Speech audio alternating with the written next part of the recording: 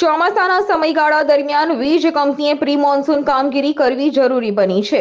ત્યારે પાલનપુરના મલાણા ગામમાં વીજ થાંભલા ઉપર વેલાઓ વિટાયેલા હોવાથી અકસ્માત થવાની ભીતિ સેવાઈ રહી છે. તેમજ ગામમાં લગાવેલી વીજ ડીપીઓની આજુબાજુ પણ બાવળોનું સામ્રાજ્ય જોવા મળી રહ્યું છે. માટે આવા અડચણરૂપ બાવળો તેમજ વેલાઓથી કોઈ જાનહાનિ થઈ તો જવાબદાર કોણ? આવા અનેક સવાલો લોકોના મનમાં ઉદ્ભવી રહ્યા છે.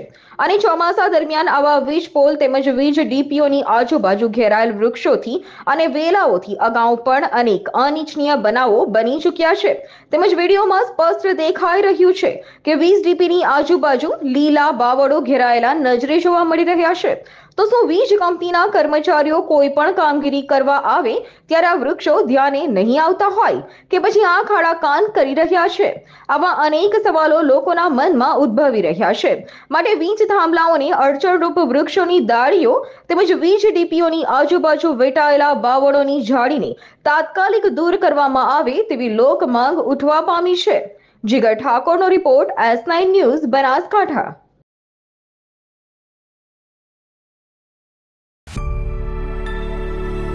અમારી તમામ માહિતીથી અપડેટ રહેવા માટે જોડાયેલા રહો એસ નાઇન ન્યૂઝ સાથે.